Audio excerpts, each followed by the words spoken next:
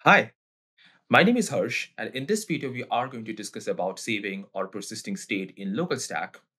You might be wondering, what does state exactly mean in the context of local stack? Well, local stack is ephemeral in nature.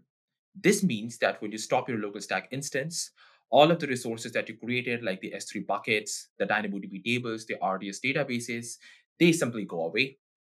By definition, anything that lives inside the local stack instance during the container lifecycle constitutes its state. Now, local stack does support persisting state for later uses. For example, you're working on an application that relies on mainly message queues or databases that need to be created and seeded every time you start your local stack instance. This may be time consuming, and you would definitely want to create this once and use it over and over again. This is where local stack state management comes into play. In this video, I'm going to discuss three options that allow you to save your local stack state efficiently and reliably. So without spending any more time, let's jump right into it. The first option that we are going to discuss now is the local stack persistence mechanism. The persistence mechanism allows you to save and restore your entire local stack state including all of the AWS resources and the data on your local machine. The persistence mechanism basically functions as a pause and resume feature that allows you to take a snapshot of your local stack instance and save all of that data into the disk. This mechanism basically allows for a quick and efficient way to preserve and continue your work with AWS resources locally. To start the persistence mechanism on your local machine, you can just launch your local stack Docker container with the persistence configuration variable set to one. This will instruct local stack to start saving all of the AWS resources and the respective application state into the local stack volume directory. Once this is started up, you will see that the persistence mechanism works right into the background. And if you go ahead and start creating any given AWS resource, for example, I'm creating a KMS key over here. Local stack will start persisting all of those resources uh, onto your local machine. You will see that in a few seconds, the persistence mechanism would officially kickstart in, and this will automatically persist the particular resource that we have created over here on our local machine. And as you can see, local stack has already saved the snapshot to disk and this took these many seconds to execute the whole process. So this is how the local stack persistence mechanism uh, traditionally work. If I go ahead and I restart my local stack Docker container using this handy CLI command that I have already configured before, you will notice that this will restart my whole local stack Docker container. And if I was running the local stack Docker container without any config variable like persistence over here, I would have noticed that there is simply no AWS resource that already exists. Uh, it is simply like a clean slate from where I have to start afresh. But in this case, local stack would have persisted my resources. And if I just check for the KMS keys that are available on my local machine, you can see that local stack has basically uh, persisted the KMS key that I have created in the previous local stack run. So this is how local stack basically persists uh, all of the AWS resources using a snapshot mechanism. And as always, local stack basically allow you to customize the way where you persist your local cloud resources. The best way to understand and know about this is to go to the documentation, navigate to the state management docs, and check out the persistence doc over here that details the various save strategies available over here. What we have been traditionally using, and this is available by default, is a scheduled save strategy that basically saves all of the state of the services at regular interval. And this is mostly fixed, fixed at almost 15 seconds. But obviously, you can go ahead and set additional save strategies, which can include like on request, which means that every time you make an AWS API call, it will start persisting the resources or the state that you have created or you have modified. Or else you can use the on shutdown, which basically means that you persist your local cloud resources when you actually terminate your local stack instance. or else you can use the manual save strategy that basically allows you to use any one of these internal state endpoints to persist your local cloud resources. You can also customize the way in which you load the state of your resources. And you can do so by using the snapshot load strategy over here. And these are the various options that you can traditionally adopt, like the on request or on startup, or by just turning off any sort of an automated loading or saving of snapshot and just use the manual way by using these particular internal state endpoint. Internally, LocalStack is using uh, something that's called as the Python pickle mechanism to basically persist these resources. And what it does in the background is by using a custom state serialization protocol uh, to persist all of those resources. Now, some of these services also store application specific data, and these are particularly called as assets. Like if I take an example with DynamoDB, uh, DynamoDB, in case if you're persisting a DynamoDB table, it's not just the resource specific data that we need to persist. It's also what's sitting inside the DynamoDB table. So all of the items that we have already created has to be persisted. And in this case, DynamoDB serializes its stat into an SQLite database per account and per region. If I just have to show you an example, you can go to the Docker desktop or you can use a traditional Docker CLI. You can navigate to the terminal and you can navigate to the state directory where you will find all of the local stack state being persisted. So you can see that I have got all of these uh, resources over here, which includes CloudWatch, DynamoDB, uh, EKS, IAM, KMS, and more of these. If I navigate to something like DynamoDB, the example that I was citing before, you can see that it has got the store.state file. And this particularly contains all of the state that we need to restore and we need to load every time the local stack container is restarted with persistence mechanism enabled. Uh, and this is usually done using the lazy loading mechanism. So every time we call the DynamoDB for the first time, it will lazily load all of the persisted resources onto our local machine. And this will set everything up for our local development and testing. So this was a short and sweet intro to what persistence mechanism is all about. But furthermore, there are many other ways through which you can manage your local stack state. So let us move to the next option that you can adopt to basically efficiently save and manage your local stack state across multiple different local stack restarts. The second option that we are going to look at is the export and import state feature. The export and import state feature allows you to export the state of your local stack container into a binary file and import it into another local stack instance. This is an incredibly useful feature if you want to save your local stack instance state for later use. To get started with the export and import state feature, you can start the local stack Docker container. Local stack CLI provides a very handy interface that allows you to export, import, and reset the state of your local stack services. You can get started with this using the local stack state command, and you can specify either export or import or reset depending on what your use case exactly is. To get started, we can create a KMS key as our very basic example, and we can run this command to create one. Once this is done, we can specify the local stack state command, and we can mention that we want to export the state of our local stack Docker container into this KMS dash state file. Once you hit execute, this will export the state into this particular file over here. And this basically contains our persisted state in a binary object.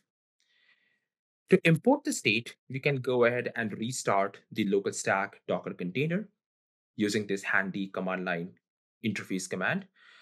And once this is done, we can import the state that we have already created before using the local stack state import command, mention the name of the file, and this will basically import whatever state that we had exported uh, initially into this particular file.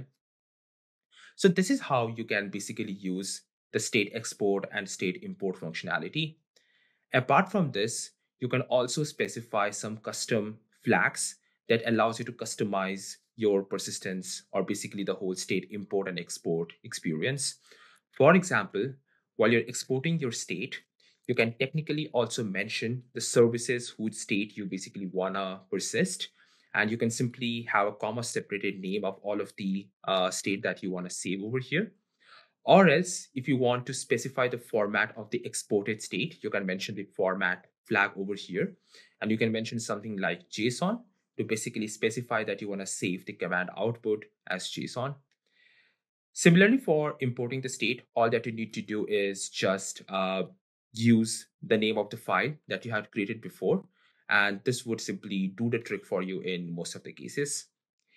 In case you don't want to use the command line interface to export, import, and manage your local stack state, you can also use the local stack web application. In this case, I can refresh my web application to accurately reflect that my local stack container is running. And if you navigate to the default instance, you will find that there is a particular state tab over here. You can go ahead and click that, and this would allow you to export the state with just one single click. If I go ahead and click on export state, you can see that this has exported the state of my local stack Docker container in my download directory. If I want to import a particular state, all that I need to do is go ahead and click this one button that would allow me to choose the file that was exported before. And this would basically set all of that state for me over my running local stack container. So this is how you can use the export and import state feature to basically have these binary object that has all of your local stack state persisted and you can not only use them on your local machine, you can also share them with your colleagues who would like to restore the state that you have already created before. So let's move on to the final part of this video and let's understand what is the third option that we find pretty fascinating for interactive collaboration and debugging. So let's just get started with that. The third and the final option that we are going to discuss in this video is CloudPods. CloudPods are persistent state snapshots of your local stack Docker container that can easily be stored, versioned, shared, and restored. CloudPods can be used for a variety of purposes. For example, you can use CloudPods for saving and managing the snapshots of your active local stack Docker container. You can additionally share these state snapshot with your team to have a sense of collaborative development and debugging. You can also use CloudPods to automate your testing pipelines by pre-seeding continuous integration environments.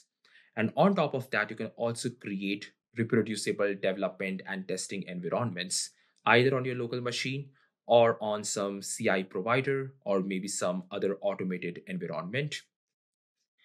CloudPods is a critical aspect of our next generation state management and team collaboration feature suite.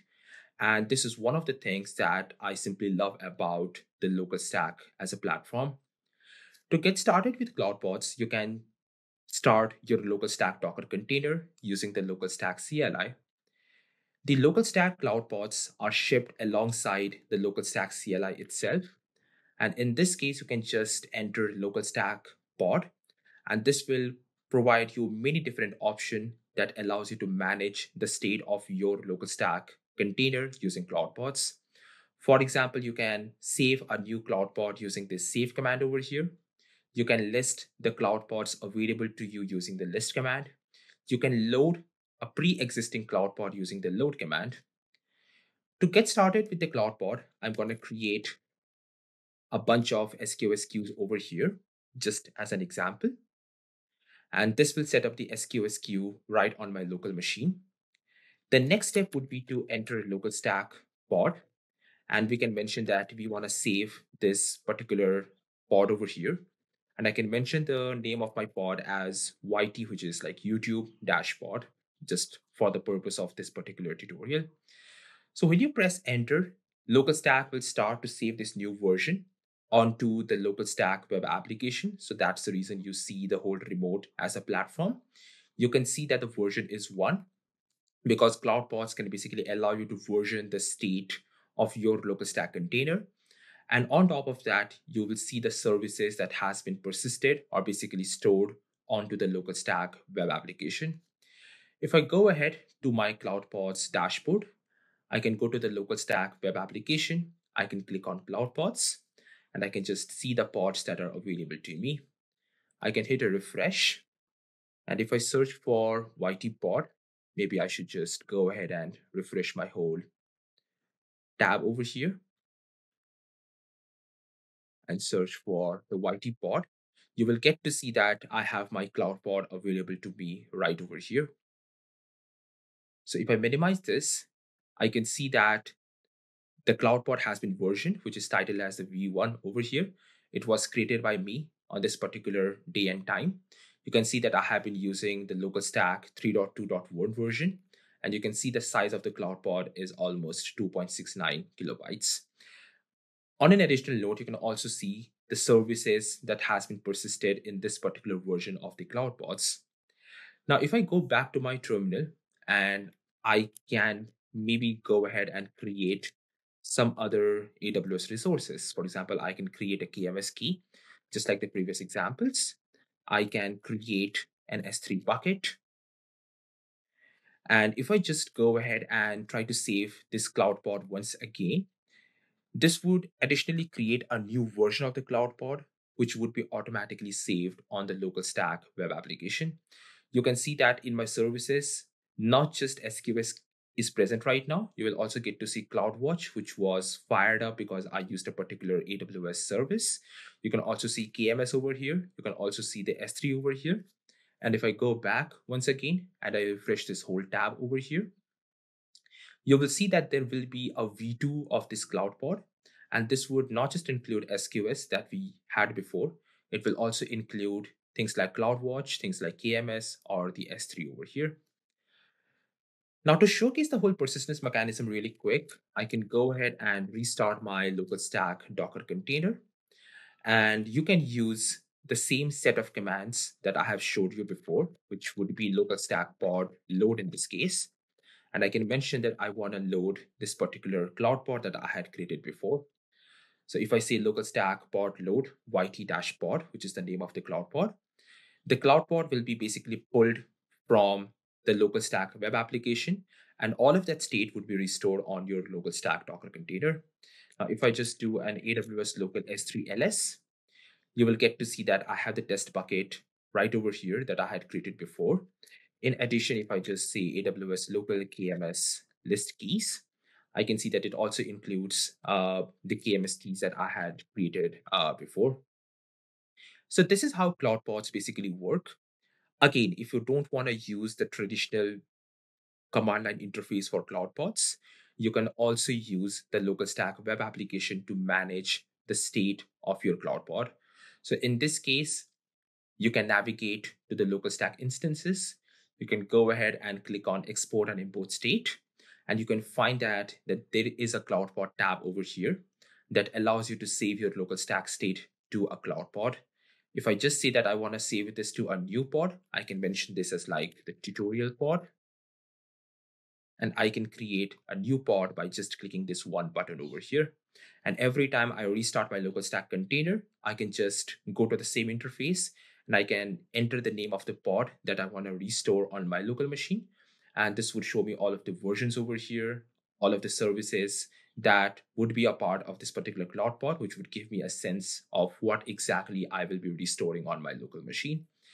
Cloud Pods has got a variety of use cases uh, are simply not covered in this particular video. So the best way to know about them is to navigate to the local stack docs, to the state management part, and check out what we have got uh, in Cloud Pods. You will be able to find how you can use Cloud Pods to basically auto load the state uh, onto your new local stack container.